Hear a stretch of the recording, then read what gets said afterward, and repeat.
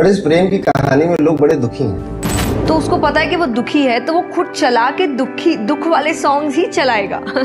Marriage confused खुशी। परिवार।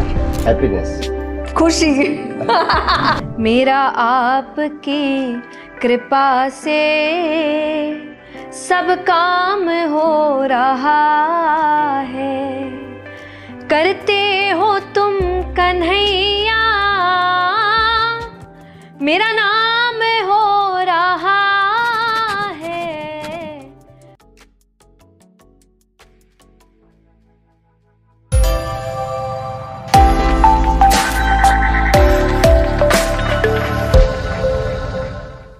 आपका स्वागत है occult Gurukul present the Arun Pandit show.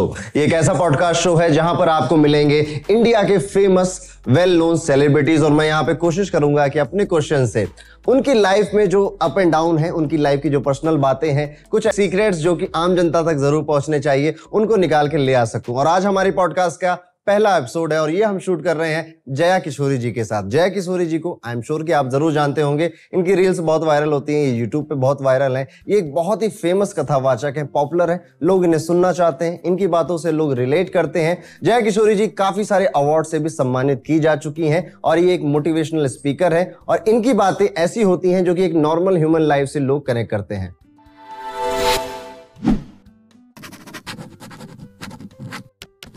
तो जया जी जैसे कि हमने जाना है कि आप बहुत कम उम्र में कथा प्र- प्रवचन के लाइन में आ गए थे। ऐसी उम्र में जब हमें कुछ आइडिया भी नहीं होता था हम खेलते कूदते रहते थे। मुझे तो यूजुअली नहीं था। तो ये कैसे हुआ? इसके बारे में थोड़ी स्टोरी क्या है इसके बिहाइंड प्लीज़ बताइए। तो ये आई थिंक घर का माहौल था।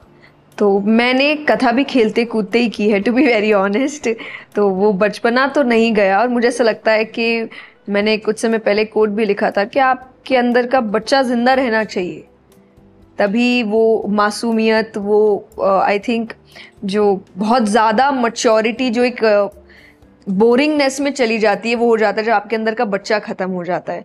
तो मैंने तो कथा भी खेलते कूदते ही की है और क्योंकि छोटी उम्र में की तो मेरे घर में हमेशा से माहौल था स्क्रिप्चर्स पढ़ने का। हम रोज़ हनुमान चालीसा करते थे, हम हफ़्ते में एक दिन कीर्तन करते थे। तो बचपन से मेरा रुझाव मेरा जुड़ाव और मेरा झुकाव दोनों, तीनों ही भगवान की ओर था।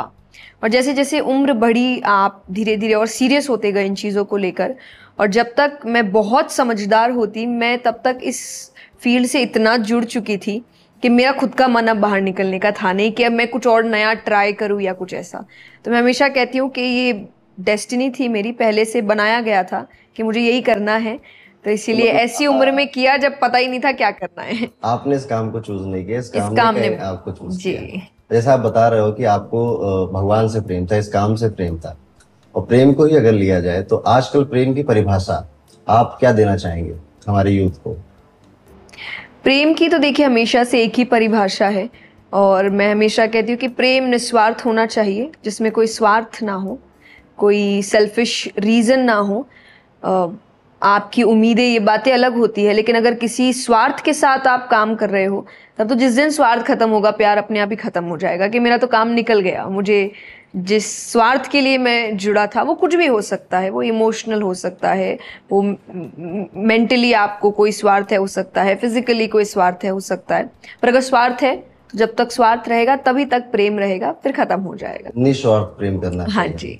एक चीज़ और है मैं कहना चाहूँगा ऐड करना चाहूँगा इसमें कि अगर आप यूजुअली जब हम प्रेम की बात कर रहे हैं तो आप किसी इंसान से प्रेम कर रहे हैं।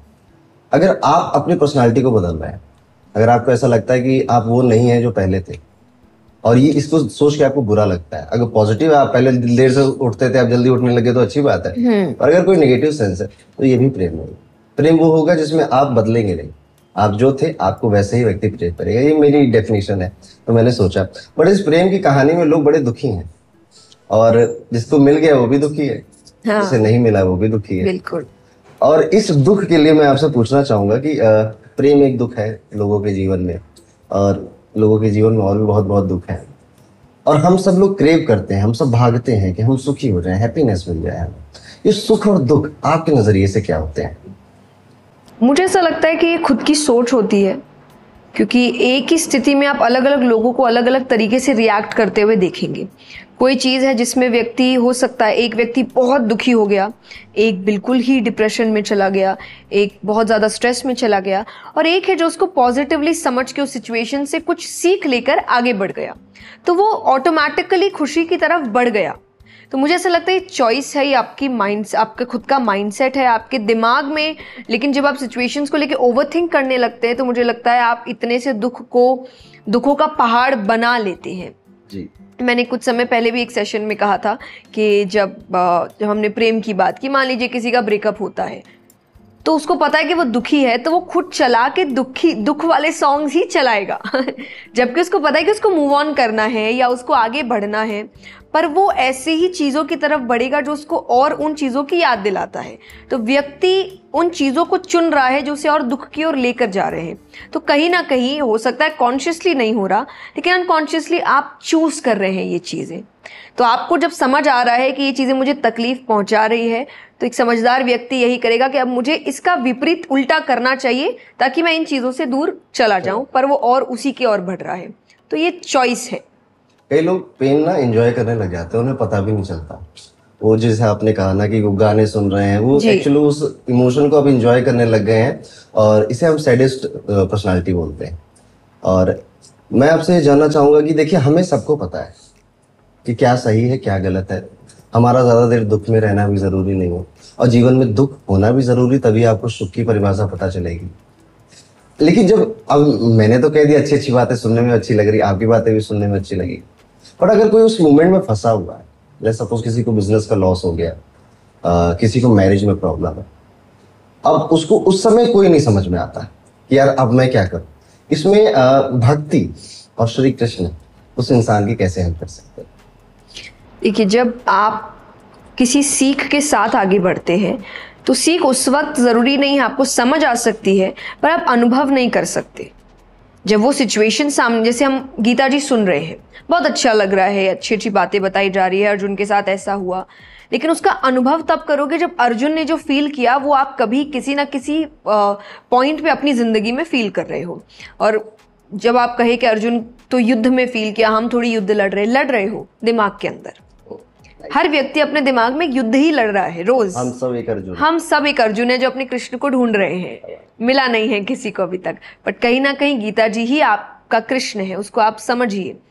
तो जब वो सिचुएशन सामने आती है आप तभी अनुभव करते हैं। तो जैसा आपने कहा कि लोग हम हमें सोच के कह सकते हैं कि सुनने में अच्छी लग रही है। नहीं आपने अपनी लाइफ में कुछ ना कुछ तो देखा है जिससे आपको सीख मिली है और आज वो सीख आप शेयर कर रहे हैं। मतलब आप अपने एक्सपीरियंस से बता रहे हैं कि जब मैंने इस परिस्थिति को समझा मैंने सामना किया तो मुझे ये करना चाहिए था मैंने ये किया नहीं किया उसका जो एक समरी सीख है हम आपको दे रहे हैं। तो आप ये सोच रहे हो कि हमारे लिए बोलना आसान है ये गलत सोच है। हमने वो देखा है सीखा है और हम सोच रहे अब हम जिससे गुजरे आप ना गुजरे। तो हम आपको समझा रहे हैं। तो इसीलिए मुझे ऐसा लगता है जब लोग आपको कुछ अच्छी बात बताएँ चाहे ये पॉडकास्ट है चाहे आप मैं कोई भी अगर आप एक सक्सेसफुल इंसान से सुन रहे हो तो कभी भी दिमाग में ये मत लेकर आइए कि इसके लिए बोलना आसान है। नहीं है। इसके लिए आसान आज आपको लग रहा है पर इसने भी वही परिस्थिति देखी है जो आज आप देख रहे हैं। उससे उभरा है सीखा है और आज कोशिश कर रहा है कि तुम उसमें ना पढ़ो या डूब ना जाओ। बस यही बात सेम चीज़ चाणक ने भी कही थी कि आप ना दूसरों की गलतियों से सीखो ज़्यादा बेटर है। अपनी खुद की गलतियों से सीखने में उम्र निकल जाएगी। अपनी नई गलतियाँ करो ना मैं कहूँगी। जो लोग कर चुके उसको क्यों दोहरा रहे हो? तो बिल्कुल सही कहा जया जी आपने ठीक है? कि चाहे कितना सक्सेसफुल आदमी आपको दिख रहा है चाहे वो जय जी जितना सक्सेसफुल हो चाहे वो अमिताभ बच्चन जितना सक्सेसफुल हो पर हर किसी ने कहीं ना कहीं डाउन देखा है अपनी लाइफ में। और उस डाउन से वो निकले तभी शायद आज वो सक्सेसफुल है। और जैसे मैंने कहा जय जी आप अब हम कह सकते हैं आप भले भले मॉडेस्ट हो जाओ but you are a successful lady in this country and आपके हिसाब से सक्सेस का क्या पैरामीटर होता है और सक्सेस की क्या डेफिनेशन होती है? देखिए मैं कहती हूँ सेकंड प्रोडक्ट के वे में आप आंसर्स मांगेंगे तो फेम है मनी है पहचान है फ़ैन uh, फॉलोइंग है ये सब बहुत कुछ है। तो ये एक बाय प्रोडक्ट है डेफिनेटली है। और व्यक्ति काम भी करता है इन चीज़ों के लिए। बट मेरी नज़र में मैं ने जिस दिन खुद को सफल माना था तो मैं हमेशा कहती हूँ कि सफलता ये है कि जिस दिन आपकी वजह से किसी एक की भी ज़िंदगी एक पॉजिटिव वे में अच्छे तौर पर बदल रही है, आप सफल हैं। तो मुझे ऐसा लगता है कि जिस दिन मैंने ये काम शुरू कर दिया कि लोगों ने मुझसे आकर कहा कि आपकी बातों ने हमें डिप्रेशन से दूर किया, या आपकी बातें हमें पॉजिटिव करती है, या आपकी बातें हमारे एग्ज़ाम्स में हेल्प करती है, मुझे उस दिन लगा कि मेरी मेहनत सफल हुई है।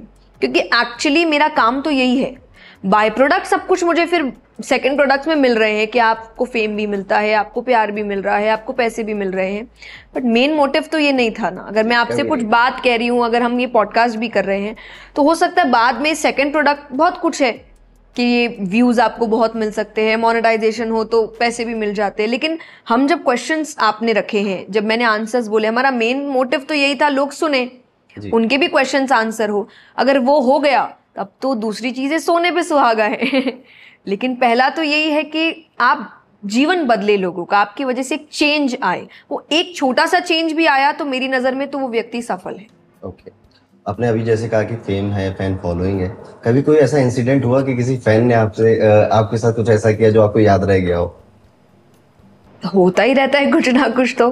पर अभी रिसेंटली आई थिंक मुझे लगा कि जब लोग आपसे प्यार करते हैं तो कितनी बार वो भूल जाते अपनी खुद की सेफ्टी भूल जाते। तो हम कहीं कथा करने गए थे और वहाँ पे एक लेडी मतलब उन अच्छी उम्र है उनकी और क्योंकि भीड़ हो जाती है तो गाड़ियाँ हम थोड़ी तेज़ी से निकालते हैं कि रुकेंगे नहीं वरना।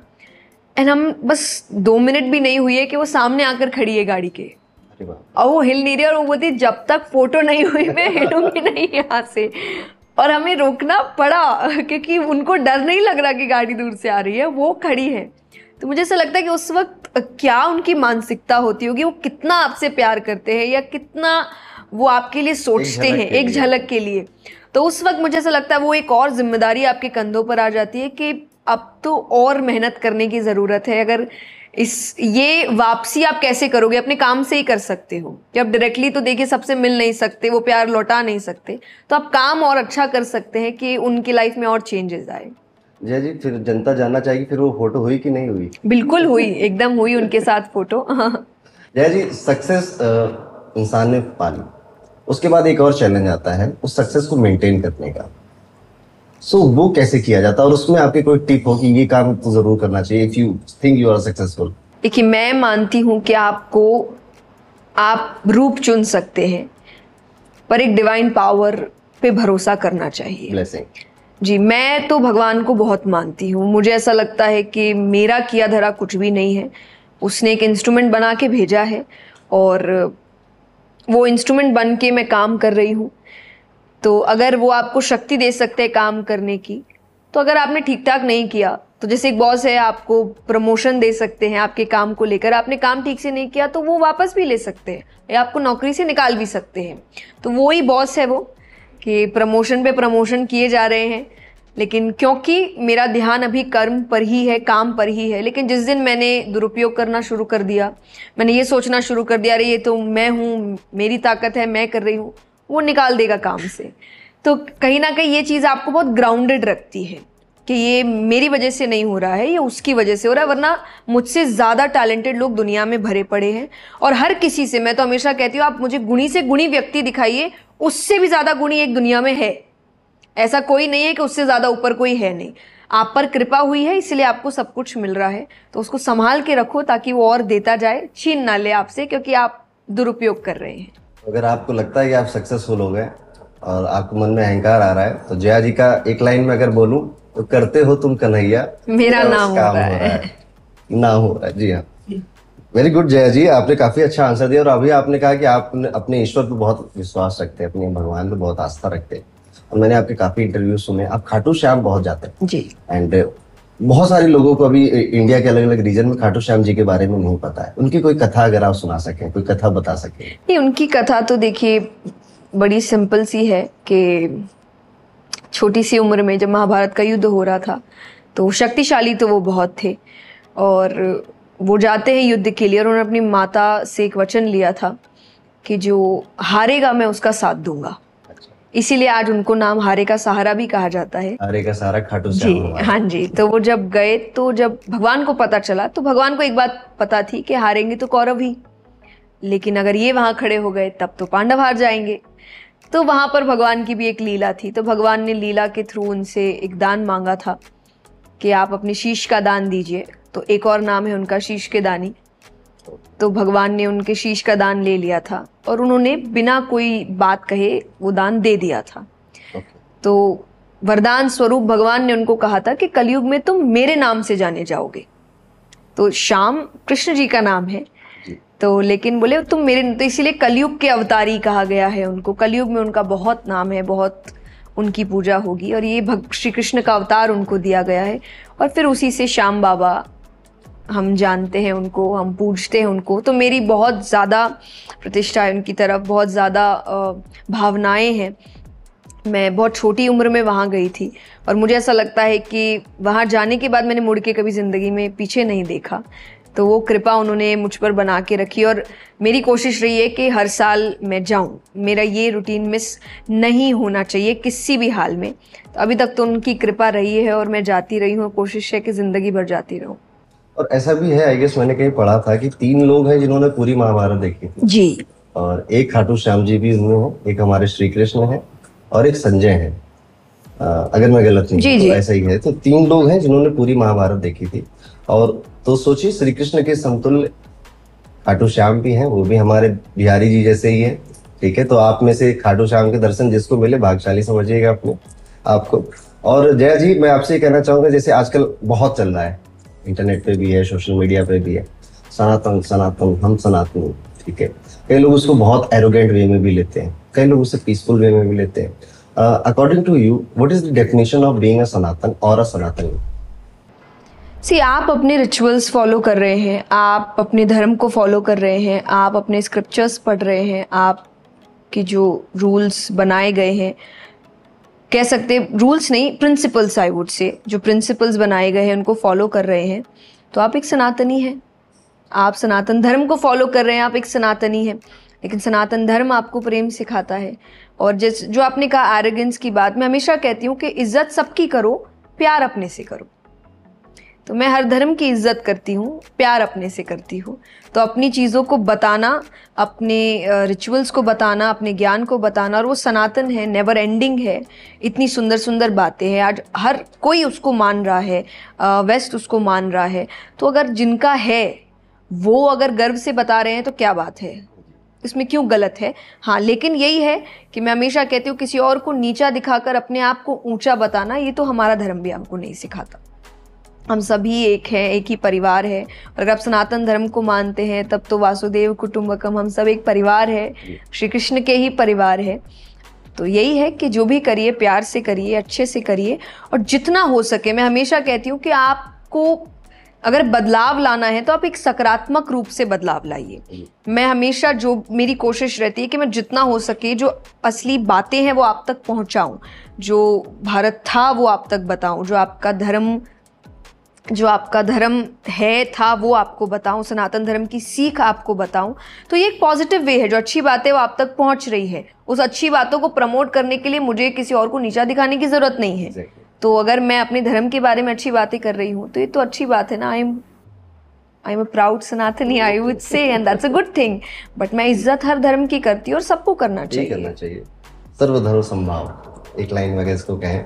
या जी आपने खाटू श्याम जी के बारे में हमें बताया। ठीक है। और आपने कहा कि वो कलयुग के देव हो।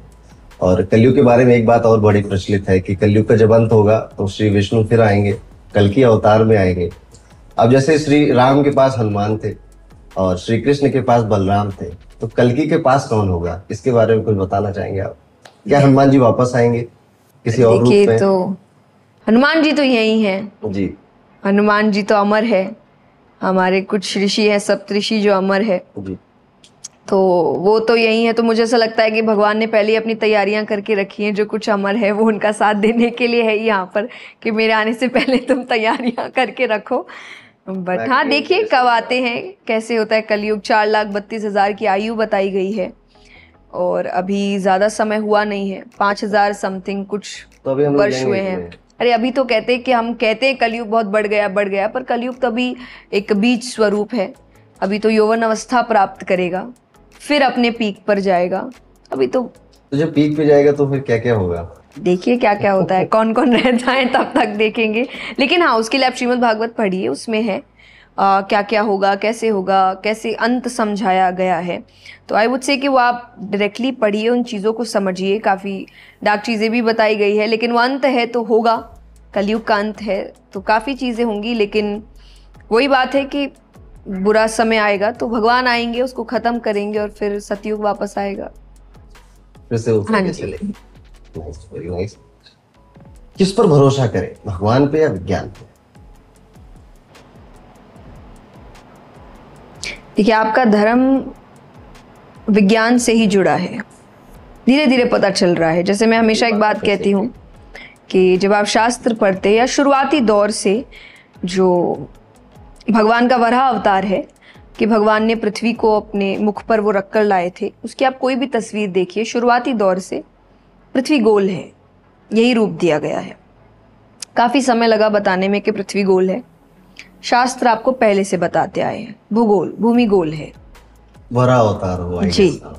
तो आपको शास्त्र बहुत पहले से बहुत चीज़ें बता रहे हैं। कुछ चीज़ें हैं जो प्रूव हो चुकी है। कुछ चीज़ें हैं जो अभी तक प्रूव नहीं हुई है तो आप कह रहे कि नहीं हो रहा। हाँ, तो मैं ये नहीं मानती मैं ज़रूर कहती हूँ कि अगर कोई चीज़ अभी तक प्रूव नहीं हुई है इसका मतलब ये नहीं कि वो हो नहीं सकता। काफ़ी चीज़ें हुई है द्वारका नगरी मिली है। जी। तो अगर एक दो चीज़ भी प्रूव हो रही है तो बाकी चीज़ों पर भी भरोसा होना चाहिए और भरोसा नहीं तो वेट करो। तो मैं हमेशा एक बात कहती हूँ कि जिस दिन विज्ञान शिखर पर पहुंचेगा उस दिन देखेगा कि आध्यात्म पहले से बैठा है। और ये बात है जय जी ने बड़ी साफ़ शब्दों में समझा दिया है कि विज्ञान तो खोज रहा है अभी, वो खोजेगा, ठीक है? और विज्ञान की हमेशा से आदत रही है, पहले वो नकारता है, फिर जब उसको फैक्ट्स मिल जाते हैं तो फिर वो एक्सेप्ट कर लेता है। पर आई थिंक वही, वो इंटरकनेक्टेड है तो विज्ञान से धर्म जुड़ा है, पर उसको समय लग रहा है चीज़ों को शास्त्र पहले से लिख दिए गए हैं। सो आई थिंक वेट आप बहुत जल्दी से चीज़ों को नकारिए मत, बहुत जल्दी से स्वीकारिए भी मत बैलेंस बनाकर चलिए लेकिन क्योंकि नकारने से तो आप सच से दूर चले जाओगे और बहुत जल्दी स्वीकार लेने से झूठ के बहुत पास आ जाओगे तो बीच में रहो और समझ के फिर किसकी ओर जाना है ये ध्यान कुछ लोग तो बीच में रहते हैं जया जी। कुछ लोगों का ये मानना है कि सब कुछ विज्ञान है। उन्हें हर चीज़ पे फैक्ट्स चाहिए, हर चीज़ पे लॉजिक चाहिए। और मेरा ये मानना है कि logic kills magic okay so कुछ लोग इसी अवधारणा में नास्तिक बन जाते हैं। तो क्या नास्तिक पे भगवान असर नहीं करते या भगवान का उन पे क्रोध नहीं बरसता या कृपा भी नहीं बरसती? आपका क्या कहना है? भगवान सब पे कृपा करते हैं। भगवान माँ बाप है। बच्चे अच्छे होगी बुरे माँ बाप तो प्यार ही करते हैं। बच्चे करे ना करे माँ बाप तो ध्यान ही रखते हैं। चाहे दूर से रखे पास से रखे तो माँ बाप वो भग, भगवान वो माँ बाप है जो आप मानो नहीं मानो वो आपका साथ देते हैं। और भगवान कर्म देखते हैं। देखिए मैं हमेशा कहती हूँ कि भगवान पार्शियल नहीं है। कि आज कोई मेहनत कर रहा है, लेकिन वो नास्तिक है और मैं कम मेहनत कर रही हूँ, लेकिन मैं आस्तिक हूँ तो मुझ पर ज़्यादा कृपा करेंगे। बिल्कुल भी नहीं। भगवान कर्म देखेंगे, जिसके कर्म अच्छे होंगे, उसको वैसे फल दिया जाएगा। पर हाँ जब आप भगवान को मानते हैं, ये बात पहले भी मैंने कही थी, कि जब आप भगवान को मानते हैं और जो नहीं मानते, उनमें डिफरेंस एक ही है कि मानने वाला जल्दी से हार नहीं मानता। क्योंकि उसका आखिरी जो, उसकी आखिरी उम्मीद भगवान है। जब उससे हर चीज़ खत्म हो जाती है कि मुझसे तो सारे काम हो गए, अब क्या? तो वो भगवान पे छोड़ देता है। लेकिन वही नास्तिक जब सब चीज़ हो गया उससे तो कहता है अब तो कुछ है ही नहीं। अब बचा क्या? जो करना था मैंने कर लिया। तो उसके पास लास्ट हारना ही ऑप्शन बचता है। तो ये एक आपको पावर जो थॉट देता है या जो उम्मीद देती है वो भगवान की उम्मीद है और उम्मीद पर दुनिया कायम है। तो इसीलिए मुझे लगता है कि मानना नहीं मानना इससे फ़ायदा नुकसान भगवान का नहीं है आपका है। जय जी अ, आजकल जैसे कि काफ़ी ज़्यादा हमें सुनने में मिलता है ना जो यंग जनरेशन है हमारी वो स्पिरिचुअल बनना चाहती है या फिर स्पिरिचुअल कंटेंट ज़्यादा कंज्यूम कर रही है। Being a spiritual person and being a religious person क्या कोई डिफरेंस होता है इसमें? या दोनों सेम चीज़ है? एंड दोनों का सेम है रास्ते अलग अलग है। Destination Okay. एक ही है जर्नी अलग अलग है। तो स्पिरिचुअलिटी में हो सकता है कि आप रिलीजियस ना हो क्योंकि आज कई बार कहते हैं कि हम रिलीजियस नहीं हम स्पिरिचुअल है। मान लिया। लेकिन रिलीजियस व्यक्ति स्पिरिचुअलिटी की ओर बढ़ता है। और अंत में स्पिरिचुअल व्यक्ति भी भगवान की ओर बढ़ता है। रूप जैसा मैंने कहा आपका अपना हो सकता है। किसी के लिए रूप होता भी नहीं है। एक पावर है। निराकार। हाँ कि एक डिवाइन पावर है कॉस्मिक एनर्जी है सब कुछ है कॉस्मिक सब दस आप शब्द दे सकते हैं। और कोई रूप ले लेगा कि श्री राम है, श्री कृष्ण है, वरा अवतार है, बामन अवतार है, दस अवतारों के नाम दे दे, लेकिन पावर है। तो ये दोनों ले जाएगी तो वहीं, लेकिन जर्नी अपनी अपनी हो सकती है कि इसकी जर्नी हो सकता है मेडिटेशन से हो, इसकी जर्नी हो सकता है अच्छे थॉट्स के साथ हो, इसकी जर्नी हो सकता है योगा के साथ हो, काफ़ी चीज़ें हैं। यहाँ रिलीजियस में आपकी जर्नी पूजा पाठ से हो सकती है स्क्रिप्चर से हो सकती है, सत्संग से हो सकती है, मंत्रों से हो सकती है। अंत में पहुंचोगे एक ही जगह। तो आपका रास्ता क्या जाए जी? बिल्कुल रिलीजियस क्योंकि मैंने भक्ति मार्ग बचपन से हाँ जी वही तो मैंने से मुझे याद आया ठीक है। मीरा भक्ति मार्ग के ऊपर थी सूरदास भक्ति मार्ग के ऊपर थे। और भक्ति मार्ग एक तरीका बताया जाता है कृष्ण को प्राप्त करने का। सो हम सब भी कहीं ना कहीं श्री कृष्ण के भक्त हैं। सो आप कुछ ऐसी चीज़ें बता सकते हो कि हम अपनी भक्ति में वो चीज़ इन्वॉल्व कर ले तो हम जल्दी से श्री कृष्ण के करीब पहुँच जाए। मतलब वैसे हम्म। नहीं ऐसे रहने के करीब हम्म, हाँ तो पहला तो जल्दी बंद करिए। जल्दी तो एक्चुअली कुछ होता नहीं है। सबकी अपनी अपनी जर्नी है। महसूस करना होता है भगवान को। कोई दो दिन में कर सकता है कोई दो साल में ना कर पाए कोई बीस साल में कर ले।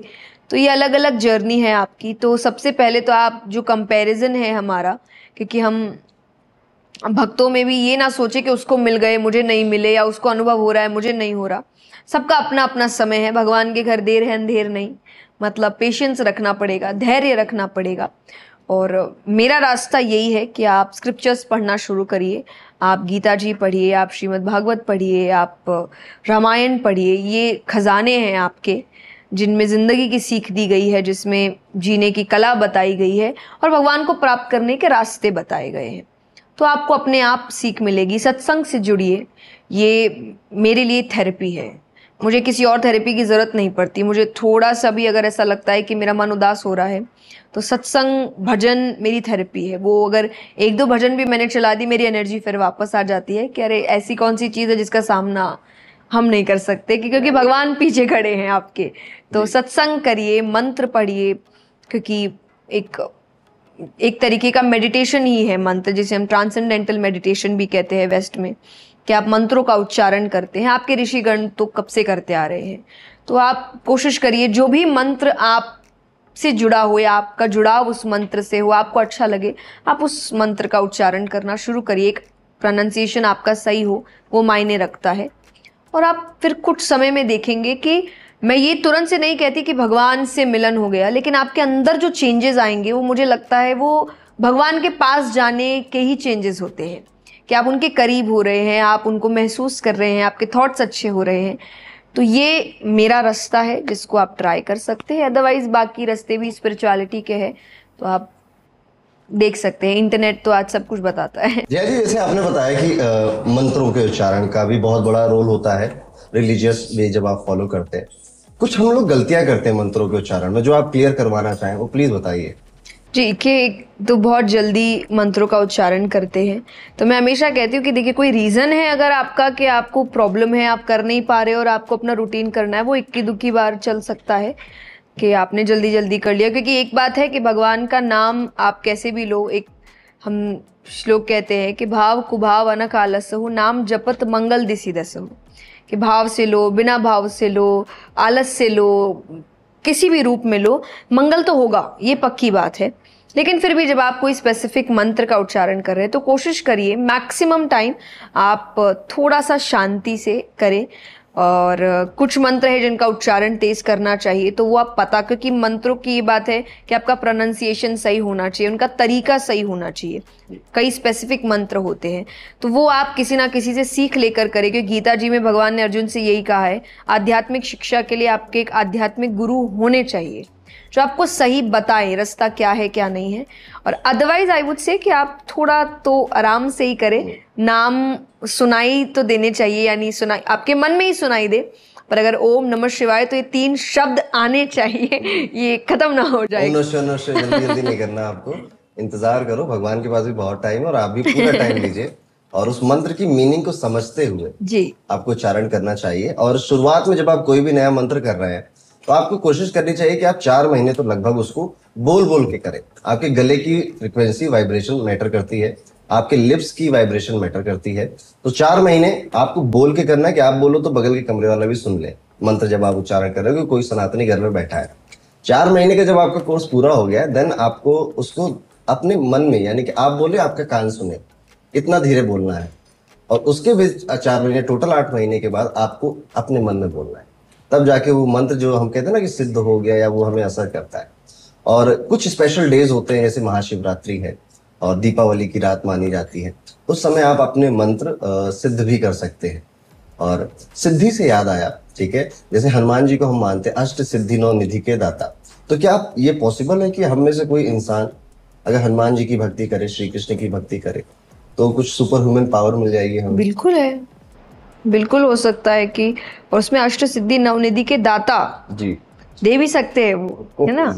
तो उनके खुद के पास तो सिद्धियाँ ही है वो उस वो देते भी है और ये है भी हम जानते हैं ऐसे कई आज भी स्पिरिचुअल मास्टर्स है जो अलग अलग स्थानों में रहते हैं जो पूर्ण रूप से सांसारिक तौर पर नहीं है लेकिन कई सिद्धियाँ हैं उनके पास। तो पॉसिबल तो देखिए डेफिनेटली है। आपका धर्म ऐसा है और वो शिक्षा दे, जिस संजय के लिए भी हम कह सकते हैं कि उनके पास एक सिद्धि ही थी ना कि वो देख सकते हैं एक जगह स्थान पे बैठ के दूसरे स्थान पर देख सकते हैं।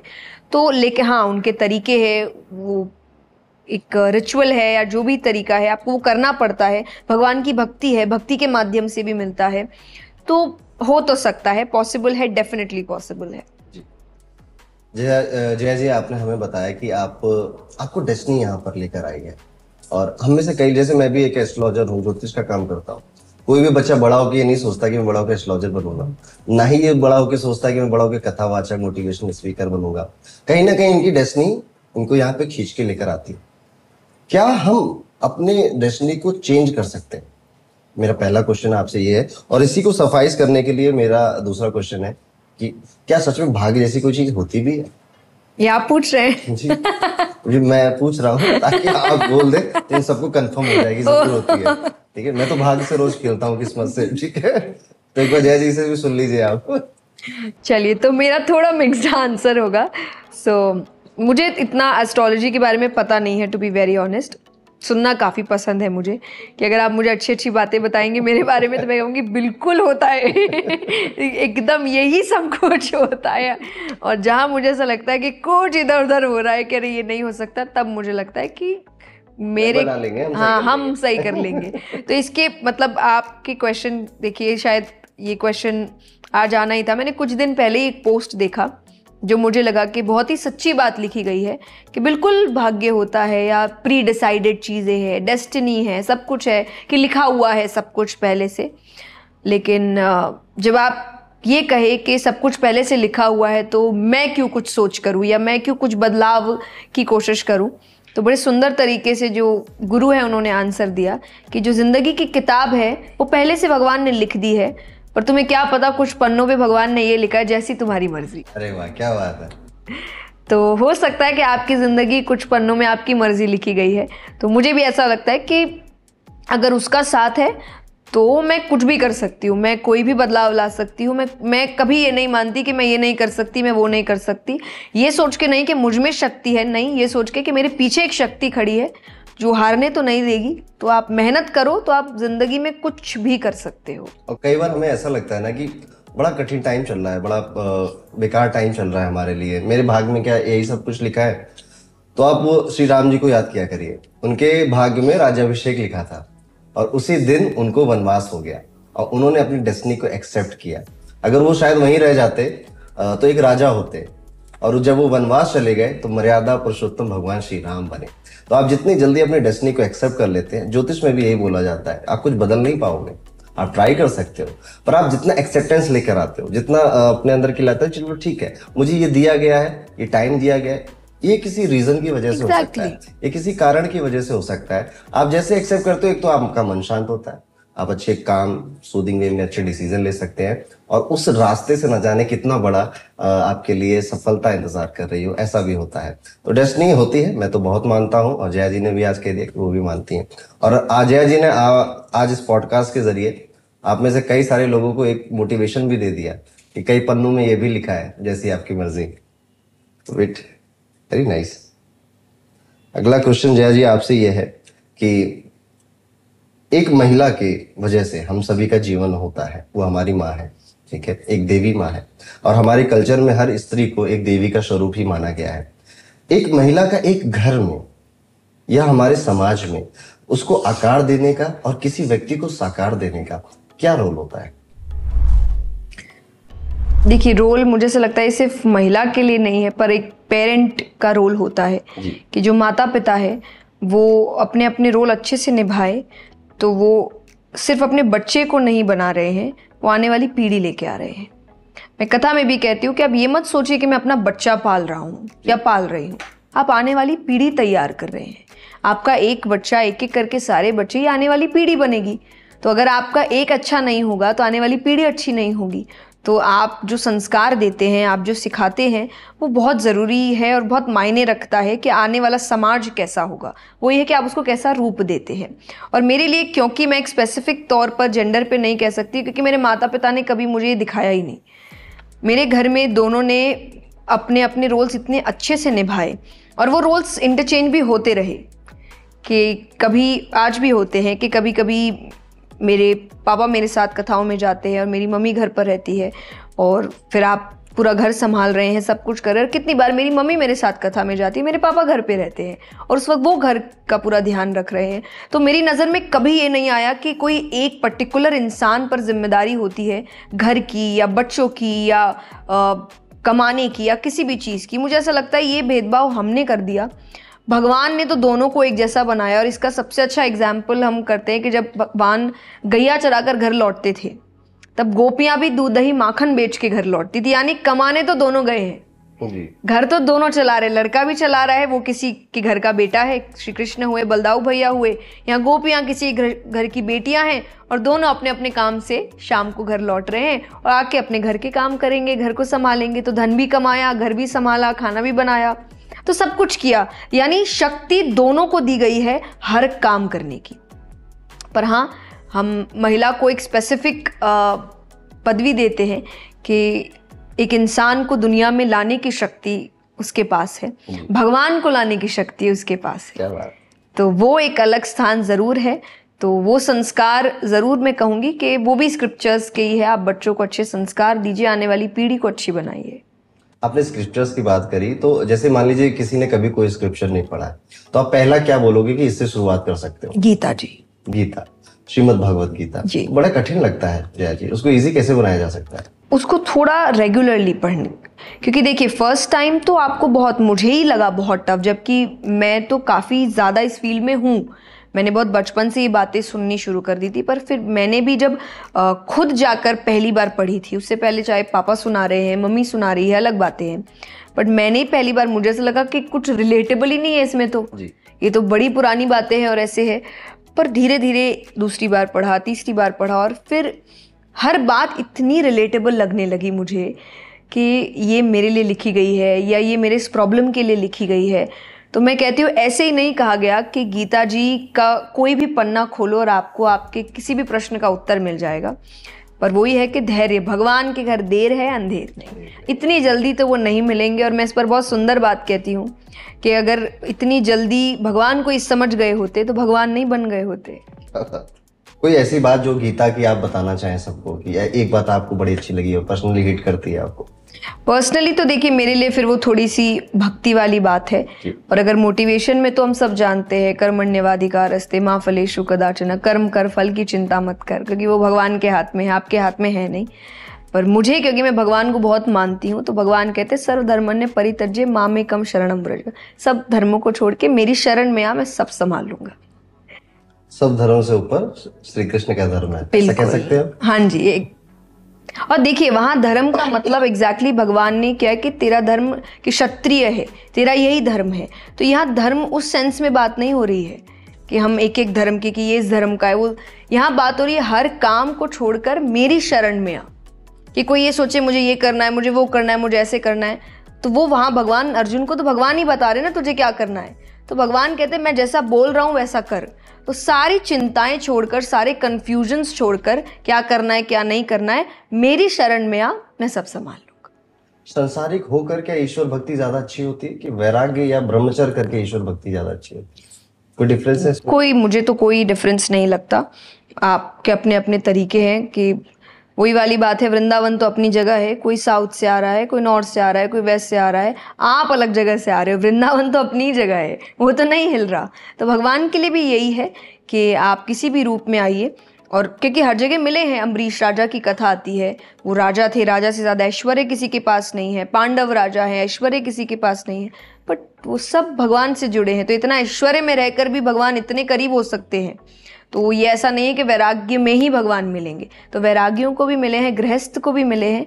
बस ये है कि जो तरीके बताए गए उन तरीकों पे आपको चलना पड़ेगा। जैसी रही भावना जिसकी प्रभु मूरत देखी तिन तैसी। एक लाइन में आप इस बात को समझ सकते हैं। आपकी फेवरेट मूवी कौन सी है जयदीप?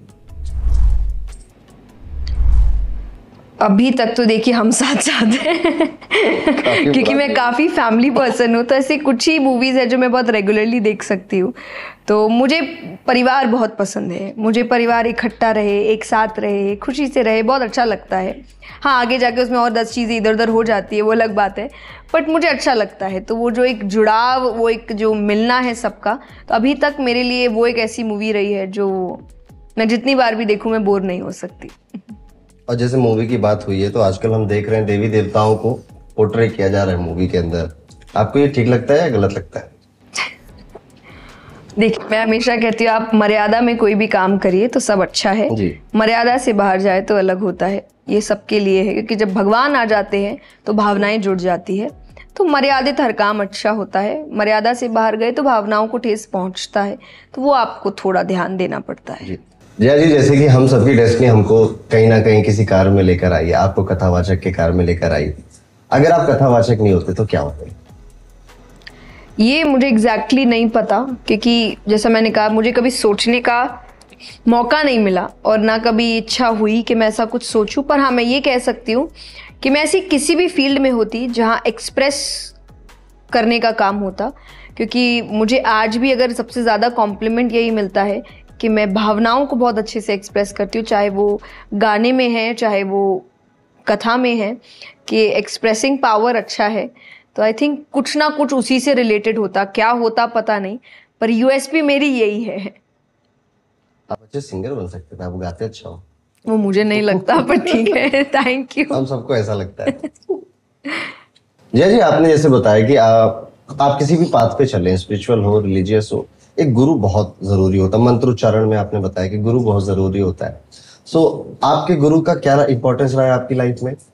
और अगर कोई व्यक्ति गुरु नहीं ढूंढ पा रहा है, क्योंकि कई क्वेश्चन मेरे पास भी आते हैं तो हमें कोई मेंटोर चाहिए, कोई गुरु चाहिए, उनके लिए कोई सोल्यूशन आपके मन में देखिए, गुरु कोई, मैं हमेशा ये नहीं कहूँगी कि एक स्पेसिफिक गुरु होने चाहिए, क्योंकि मेरी ज़िंदगी में मेरे बहुत गुरु रहे हैं, कि श्रीमद् भागवत की शिक्षा मैंने अपने गुरु जी से ली। मेरे माता पिता मेरी ज़िंदगी के बहुत बड़े गुरु रहे। तो मेरे स्पिरिचुअल मास्टर मैं कहूँगी, शुरुआती दौर से मेरे माता पिता ही रहे। कि स्क्रिप्चर्स उन्होंने पहले पढ़ी थी और मुझे समझाई थी। तो आप जिनसे भी सीख लेते हैं, वो आपके गुरु होते हैं। लेकिन हाँ जिन पर आपको भरोसा हो, मैं हमेशा ये कहती हूँ कि आप उन पर फिर डाउट ना करो। आप ऐसे के पास ही जाओ, समय लो अपना, लेकिन किसी ऐसे के पास जाओ जिन पे आप फिर डाउट ना करो। तो गुरु के लिए भी कि आप किन को गुरु बनाएँ आई नो आज के टाइम पे थोड़ा कंफ्यूजन है इस चीज़ को लेकर। तो मैं एक बहुत ही सिंपल लाइन में बात कहती हूँ कि गुरु वही अच्छे जो आपको भगवान से जोड़े, ना कि खुद से। अगर वो आपको खुद से जोड़ रहे हैं कि गुरु से मिलने के बाद आपके घर में भगवान की फ़ोटो तो छोटी हो गई, गुरु की फ़ोटो बड़ी हो गई। भगवान के नाम कम हो गए, गुरु की मालाएँ बड़ी हो गई। तो मुझे लगता है फिर वो गुरु सही नहीं है। उनसे मिलने के बाद भगवान के नाम जब ज़्यादा होने चाहिए, भगवान की बातें ज़्यादा होनी चाहिए, भगवान से जुड़ाव ज़्यादा होना चाहिए तो ये गुरु अच्छे होते हैं। तो ये इन बातों का थोड़ा सा ध्यान रखें बट हाँ डेफिनेटली आप, क्योंकि मैं हमेशा कहती हूँ स्क्रिप्चर्स देखिए, वेदव्यास जी का जो ज्ञान है, हमारा नहीं है। हम इवॉल्व ही नहीं हुए हैं उतना, और कब होंगे होंगे भी कि नहीं, पता नहीं। तो इट्स नॉट दैट ईजी कि आप वो किस सोच में उन बातों को लिख रहे होंगे, आपको पता हो या समझ आ जाए। तो टाइम लगेगा तो उसके लिए आपको थोड़ा तो कोई ऐसा व्यक्ति चाहिए जो इवॉल्व हो चुका है, जो इन चीज़ों के साथ रहा है, जो स्क्रिप्चर्स को जिसने समझा है, तभी वो आपको एग्जैक्ट मीनिंग समझा पाएगा, वरना आप अर्थ का अनर्थ कर देंगे। और फिर वही लेकर आप ज़िंदगी में चलेंगे और फिर एग्जैक्टली वही बात है जो आस्तिक नास्तिक भी बन जाते हैं। तो आप अर्थ का अनर्थ करते हैं और कुछ नहीं है। तो आपको एक स्पिरिचुअल मास्टर चाहिए। और सिर्फ़ स्पिरिचुअल मास्टर नहीं, आप कुछ भी काम करते हो, अगर कोई सिखाने वाला आपके पास है ना तो आपकी जंग ना थोड़ी ईजी हो जाती है। लाइफ में कई लड़ाइयाँ होती हैं जो हमें खुद लड़नी पड़ती हैं। हमारे रिश्तों की लड़ाइयाँ है हमारे करियर की लड़ाई है हमारे बिज़नेस की लड़ाई है। और अगर कोई उसमें एक्सपीरियंस बंदा है जिसकी शादी टूट चुकी है तो आपको बता सकता है क्या ना करो कि शादी ना टूटे। तो वो आपका गुरु बन जाएगा उस केस में। So very well answered Jaya ji. और मेरा आपसे एक क्वेश्चन ये है कि आपकी लाइफ का पर्पस क्या है अब? अब तो मेरा यही पर्पस है। कि जितना हो सके मैं स्क्रिप्चर्स की बातें लोगों तक पहुंचाऊं। और मैं हमेशा कहती हूँ, मैं बहुत ज़्यादा कोई ज्ञानी हूँ नहीं। मेरी अपनी गलतियाँ भी है, आज भी करती हूँ, आगे भी करूँगी। मैं ये भी नहीं कहती मैं आगे नहीं करूँगी, करती रहूँगी क्योंकि इंसान हूँ, भगवान नहीं हूँ। सीख रही हूँ चीज़ों को और हर व्यक्ति करता है, लेकिन काम बंद नहीं करूँगी, सीखती रहूँगी और आपको बताती रहूँगी। क्यों? क्योंकि आपका ज्ञान उतना ही अच्छा जितना लोगों तक पहुँचे, वरना व्यर्थ है। एक दैनिक जीवन जीने में हम सबका एक रूटीन होता है। आप कुछ ऐसा बताना चाहोगे कि एक रूटीन ऐसा मतलब ये आइडियल रूटीन ऐसा होना चाहिए हर व्यक्ति का? मैं टाइमिंग के हिसाब से रूटीन क्योंकि मैं मेरे रूटीन को अगर लेकर कहूँ, जो मेरे लाइफस्टाइल को जिसने बहुत चेंज किया है, मुझे बहुत कामनेस आई है मेरा मन बहुत शांत हुआ है तो मेडिटेशन है, मैं मंत्रों का जाप है। तो वो पहली चीज़ अगर मैं उठते ही नहा धो के तैयार होती, मेरा पहला काम यही है कि मेरी पूजा यही है, क्योंकि मैं अलग अलग जगह रहती हूँ, हर जगह आपको मंदिर नहीं मिलते या हर जगह आपको भगवान पूर्ण रूप से ऐसे उपस्थित के मंदिर जैसे बनाए, आप आरती वगैरह कर पाए, नहीं होता। तो माला ही मेरी पूजा है। तो मैं सुबह उठते ही मेरा पहला काम ये है, उसके बिना तो मैं कुछ खाऊं भी ना। ये एक रूटीन मेरे लिए है और सोने से पहले भी है। तो ये दो चीज़ मैं करती हूँ तो आप, वो एक मेडिटेशन आप उसको मान सकते हो तो आपकी भी लाइफ में कुछ ना कुछ ऐसा होना चाहिए, जो समय आप अपने और जो एक डिवाइन पावर है उसके साथ बिता रहे हैं। और कुछ नहीं, और कोई थॉट्स नहीं, और कोई कन्फ्यूज़न नहीं, और कोई झंझट नहीं कंपटीशन नहीं, दूसरी, दूसरे इमोशंस नहीं, आप और जो डिवाइन पावर है वो, आप सिर्फ़ उनके साथ समय बिताए।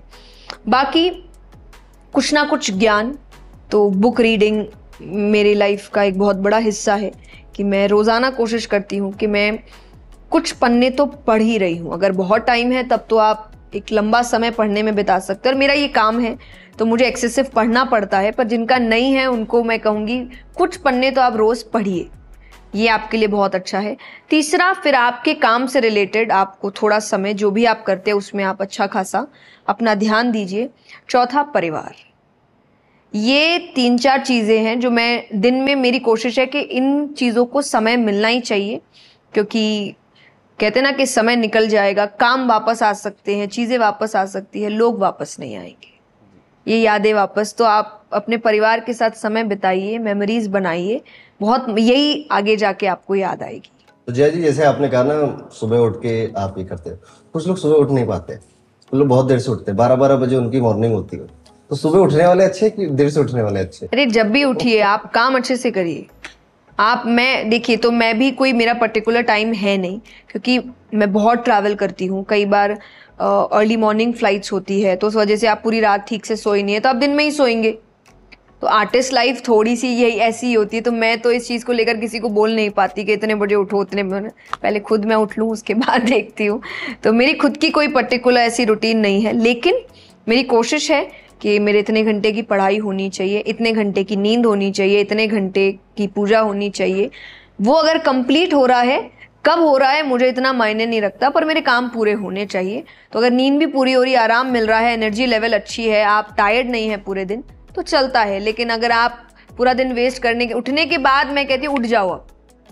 उठने के बाद जो आप घंटों इंतज़ार कर रहे हो फ़ोन छेड़ रहे हो, ये मत करो। ये बहुत आपकी लाइफ ख़राब करता है। अब भले ही आपकी आँख बारह बजे खुली है, बारह बजे बारह एक पे उठ जाओ अब। बारह एक का आप एक बजा देते बेड पे ये काम मत करिए। जैसा कि हमने बचपन से सुना है कि हमारे कर्मों का फल हमें इसी दुनिया में देखना है। और स्वर्ग भी यही दुनिया आप बना सकते हो और नर्क भी अपने लिए यही दुनिया बना सकते हो। ये जो कर्म का शब्द, ये थोड़ा सा डीप क्वेश्चन होगा और आप बेस्ट कैंडिडेट हो उसका आंसर करने के लिए। कि ये जो कर्म है, एक है कर्म कि मैंने ये बोतल गिरा दी, हटा दी। दिस इज़ द कर्म। मैंने किसी का नुकसान कर दिया या किसी को परेशान हर्ट कर दिया मैंने। एक मैंने सोचा मैंने बहुत दिनों तक सोचा कि मैं इसका ये बर्बाद ऐसे करूँगा इसको ऐसे परेशान करूँगा। क्या इन दोनों में कोई डिफरेंस है? किसका कर्म बुरा है या दोनों ही सेम इंटेंसिटी है। तो हर चीज़ की सजा अपनी अपनी देगी जब शारीरिक तौर से कुछ काम करते हैं तो आपको शारीरिक पीड़ा मिलती है। आप मानसिक तौर से कुछ करते हैं आपको मानसिक पीड़ा मिलती है। तो भगवान मैं हमेशा कहती हूँ ऊपर बहुत सिस्टमैटिक काम चल रहा है यहाँ जैसे नहीं चल रहा। वहाँ बहुत सिस्टम से काम होता है वहाँ जैसा कर्म करोगे एग्जैक्ट वैसा फल मिलेगा। जिसने मानसिक तौर से गलतियाँ की उसको मानसिक पीड़ा ही मिलेगी। जिसने शारीरिक तौर से गलतियाँ की उसको शारीरिक पीड़ा मिलेगी। जिसने भावनात्मक तौर से गलतियाँ की उसको भावनात्मक पीड़ा मिलेगी। तो वहाँ का सिस्टम अच्छा चल रहा है और वहाँ आप जो कर्म करो एक साल बाद दो साल दस पचास साल बाद भी वो तो कर्म घूम के आएगा घूम के आएगा आपके पास और आपको मिलेगा। आपको नहीं मिला आपके घर वालों को किसी को मिलेगा हर्ट आप होंगे। तो कर्म चाहे आप सोच रहे हो किसी का बुरा करने के लिए आप अपनी भावनाओं को निगेटिव कर रहे हो या फिर आप फिजिकली जैसा कि जया जी ने बताया किसी का बुरा कर वो घूम के आएगा। इसलिए जितना हो सके हमें कोशिश ये करनी चाहिए कि हमें अपने कर्मों को अच्छा और सात्विक ही रखना चाहिए। तो थैंक यू जया जी तो ये हमारा पॉडकास्ट का सेशन यहाँ पे एंड होगा। अब हम एक अपना नया सेशन अपने पॉडकास्ट में करेंगे। जया जी मैं इसमें आपको एक शब्द बोलूँगा। और उस शब्द से जुड़ा जो पहला थॉट आपके मन में आएगा okay. आपको उससे रिप्लाई करना है। ठीक है। So are you ready Jaya ji yes money important magic spirituality social media छह million follower six point seven sorry but balance balance बना के रखिए। खुशी। परिवार। हैप्पीनेस खुशी। मैरिज कंफ्यूज्ड ज्योतिष। कंफ्यूजन मुझे बट आई थिंक एक स्टडी है। और आपको पढ़नी चाहिए। मुझे बहुत इंटरेस्ट है तो आई थिंक मुझे शायद अब एक स्रोत मिल चुका है पढ़ने के लिए। मुझे इंटरेस्ट काफ़ी है मुझे जानना है पर अभी तक मुझे इतना पता नहीं है सो so, मैं कंफ्यूज कोई नहीं मैं बता दूँगा जी। अहंकार। बुरा। कृष्ण। सब कुछ। बुद्धिमता विजडम अमृत। तो आपने बड़ी बखूबी आंसर किया। जया जी हमारे सभी क्वेश्चन का। एंड uh, मुझे लगता है जया जी के साथ हमारा रिलेशन यहाँ तक नहीं रहेगा। जया जी दोबारा आएँगे हमारे पॉडकास्ट में और आप लोगों से जो ये पॉडकास्ट देख रहे हैं मैं बोलना चाहूँगा अगर आप मेरी जगह होते तो आपके मन में क्या क्वेश्चन आ रहा है जो आप जया जी से पूछते उसे कॉमेंट करके ज़रूर बताइएगा। तो thank you so much Jaya ji हमारे पॉडकास्ट में आने के लिए। हमारी टीम आपसे कह दी जाते जाते दो लाइन भजन के जो आप सुना सके। चलिए, अब देखिए, अब एक ही भजन तो मैं घुमा फिरा के हर जगह गा रही हूँ बट मेरा फेवरेट भजन यही है। और जैसा हमने पॉडकास्ट में भी उसको एक बार शब्दों के तौर पर कहा था तो वो ही गाते हैं।